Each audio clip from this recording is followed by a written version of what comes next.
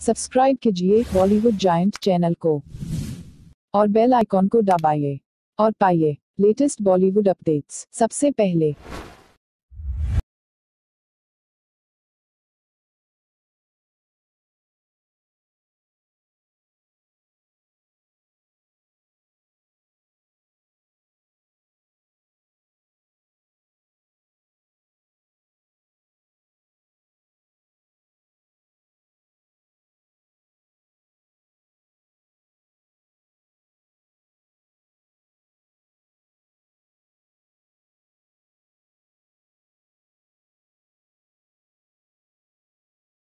आवाज़ आ रही है आप लोगों को? हेलो हेलो हेलो हेलो देख मेरी माँ बहुत बीमार है रघु। और मैं डॉक्टर को लेने जा रहा हूँ। मुझे जल्दी से दे दे रघु। मुझे जल्दी से बुद्धं शरणं गच्छामि। धम्मं शरणं गच्छामि। संगं शरणं गच्छामि। दिल मिल गए तो फिर क्या? जंगल भी एक घर है।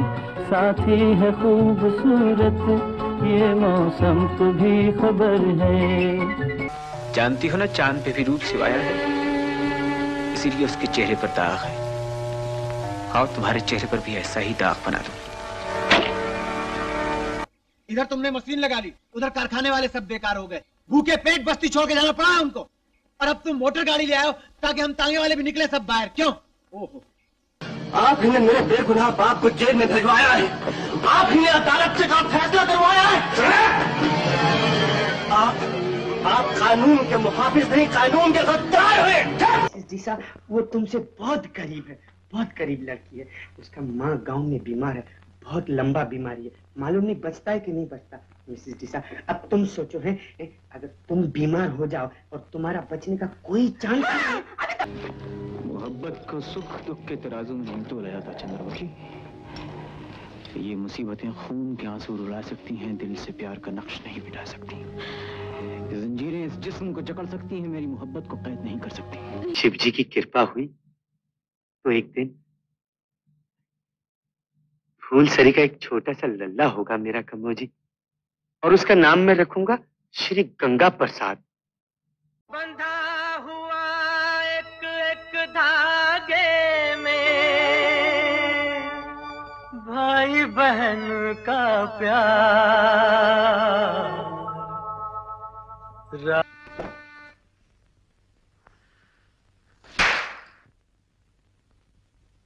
तुम एक तवायफ हो। तुम्हारा काम नाचना और गाना है। सर कानून को तो आप जानते हैं उसको इस तरफ़ मोड़ते हैं तो इधर मुड़ जाता है और इस तरफ़ घुमाते हैं तो ऐसे इधर घूम जाता है सर। तो क्या आप समझते हैं कानून को थाली का बैंगन है? अच्छा बैगन तो लोग बात खाते हैं। आज सुबह मैंने भी नाश्ते में बैगन ही खाया था। जिस जान के चले जाने से किसी दूसरे का भला हो उसे आत्महत्या नहीं कहते राधा। वैसे भी तू जानती है कि इस धरती पर मेरे ज़िंदा रहने से कभी किसी को कोई लाभ नहीं पहुँच सकता। आज मैं कितनी आज़ादी महसूस कर रहा हूँ। जिसम जैसे मांगे करना भूल गया, मन तड़पना तड़पाना भूल गया। जीवन आज जैसे मुट्ठी में है, मौत जैसे खेल है।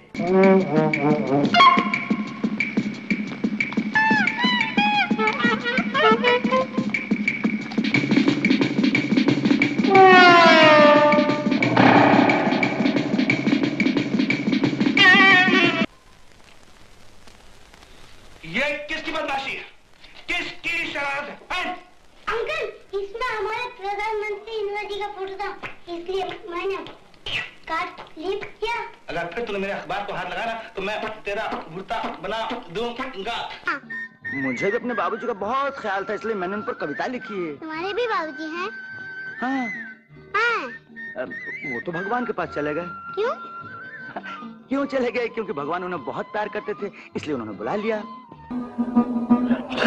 मुझे रंजीत के नाम से पुकार कर तुम मेरी बहन को धोखा नहीं दे सकते।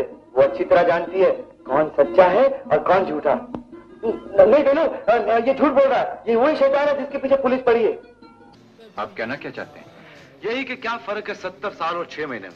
मौत तो एक पल है, बाबू मुछाए आने वाले छह महीने में जो लाखों पल में जीने वाले उसका क्या होगा? बाबू मुझे ज़िंदगी बड़ी होनी चाहिए, लंबी नहीं। ना इज़्ज़त की चिंता ना फ़िक्र कोई अपमान की।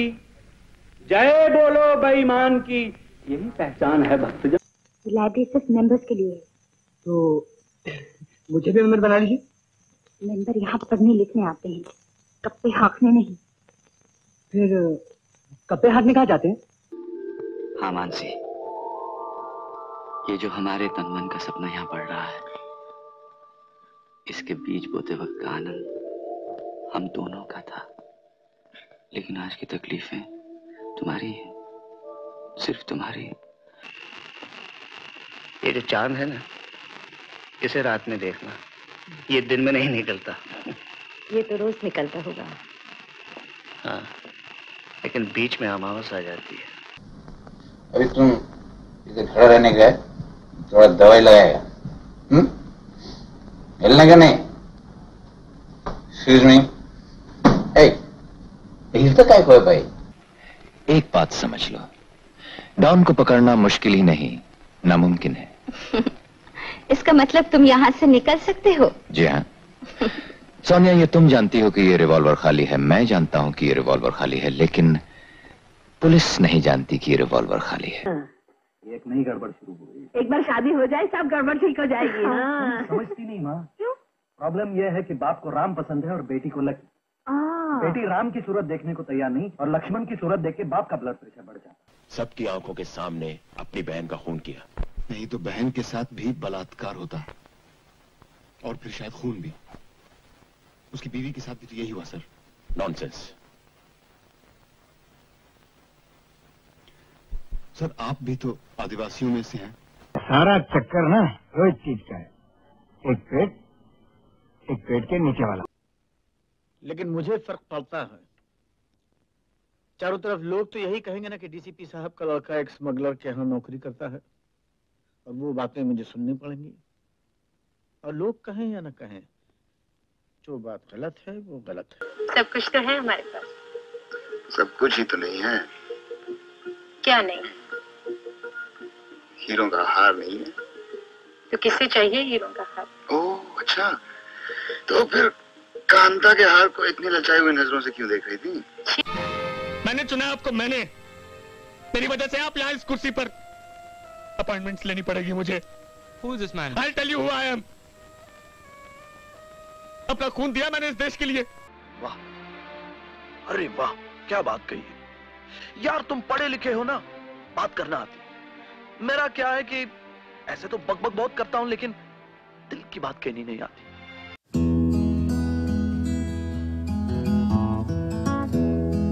तेरी ज़िंदगी और मौत के बीच का फासला मुन्ना के चाकू की धार से ज़्यादा नहीं है। आइंदा कभी झूठ बोला तो पत्ते लगाने के लिए भी हाथ नहीं बचेंगे। कितना बड़ा हो गया है तू भाई। पर तुम थे कहाँ? तेरी टिकट लाने गया था। टिकट? हाँ। काय की टिकट तो अभी आधे घंटे में दिल्ली जा रहा है। सामान रख देना गाड़ी में। बहुत पछताओगे इंस्पेक्टर। अगर तुमने मुझे ज़िंदा छोड़ दिया तो बहुत पछताओगे। इस दुनिया में दो तरह के कीड़े होते हैं। एक वो जो कचरे से निकलता है दूसरा वो जो पाप की गंदगी से निकलता है। देखा? देखा मेरी माँ का बड़ापन जिसे तुमने इतना बुरा भला कहा उसी ने आज तुझे बचा लिया। वरना आज मैं तुझे ज़िंदा नहीं छोड़ता। तभी तो मैंने कहा था कभी कभी जीतने के लिए कुछ हारना भी पड़ता है। और हार कर जीतने वाले को बाजीगर कहते हैं। तुम्हारी ज़िंदगी में कोई फ़र्क पड़ने वाला नहीं। अंधेरे में रहने की आदत पड़ी है तुमको। गुलामी करने की आदत पड़ी है। पहले राजा महाराजाओं की गुलामी की फिर अंग्रेज़ों की अब चंद गद्दार नेताओं की और गुंडों की। तुम अपनी पूरी ज़िंदगी एक ऐसे आदमी के साथ गुजार दोगी जिसे तुम जानती नहीं हो कभी मिली नहीं हो जो तुम्हारे लिए बिल्कुल अजनबी है। परदेसी परदेसी जाना नहीं। परदेसी परदेसी छोड़ के मुझे छोड़ के मैं तुमसे प्यार नहीं करती। झूठ बोलती हो तुम। मैं झूठ नहीं बोलती। तुम झूठ नहीं बोलती हुँ? तो फिर मेरी आँखों में देखो और कहता कि तुम्हें नहीं लगता कि हम दोनों एक दूसरे के लिए बने हैं। प्यार दोस्ती है। अगर वो मेरी सबसे अच्छी दोस्त नहीं बन सकती तो मैं उससे कभी प्यार कर ही नहीं सकता। क्योंकि दोस्ती बिना तो प्यार होता ही नहीं। सिंपल देखना देखना इसे बोलते घोड़ा। क्या? घोड़ा। दो पेटी का है। अरे दो पेटी का मतलब दो लाख रुपया। हाँ, फिर मैं तुम्हें लोरी गाकर सुलाऊँगा। और सुबह सूरज की पहली किरण के साथ बहरी गाकर जगाऊँगा।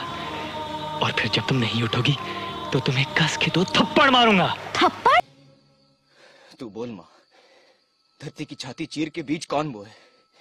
हम बोए, फिर सींचे कौन है? हम ही। फिर लगान उनकी गांठ काय बांधे? मैं ये बड़ी बड़ी आँखें देख सकता हूँ, पर उन आँखों में बड़े बड़े आँसू नहीं देख सकता। अच्छा हुआ तुम आ गई मेरे पास तुम्हारी कुछ चीज़ें जो मैं लौटाना चाहता हूँ।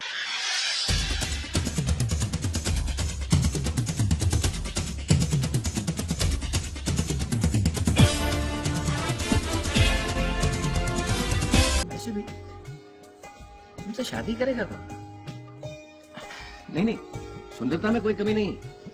पर ये नचड़ापन दर्जन भर रसूल तो दर्जन आदर्श चलेगा कौन? हर वो चीज़ जो वो छूती है, जो वो खाती है, उसका एक नाम है, उस नाम का एक अर्थ है। मैं मैं सिखाऊँगा उससे बोलना। इस उम्र में तो अपना नाम याद नहीं रहता शिफ्ट बहुत दूर की बात है अच्छा सात साल के बाद मैं ये सोचकर हॉकी में वापस आया कि जिस वजह से मेरी टीम हारी थी उस वजह को मैं एक बार हरा कर रहूँगा। लेकिन आज फिर मैं हार गया। बचपन से आज तक कोई ना कोई हमारी ज़िंदगी की राह के फैसले करता रहा है। हमें हमेशा बताया गया है कि क्या करो कैसे करो। अब हम खुद मुख्तार होना चाहते हैं। ओ, मैंने सोचा कि मैं तेरा बेस्ट फ्रेंड हूँ। अरे यार आई थॉट कि उधर पहले जाके चेकआउट करता हूँ। सब सेफ़ है कि नहीं? आजकल सब जगह अटैक हो रहा है। कहीं कुछ हो गया मैं तुम्हें खोना नहीं चाहता हूँ। me?